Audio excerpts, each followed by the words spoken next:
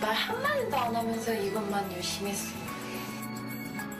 그리고 무엇보다 여기에 경산이에 대한 마음이 담겨 있는 것 같아.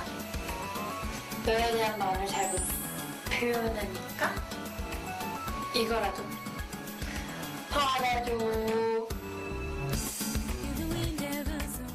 야, 컬렉션이야?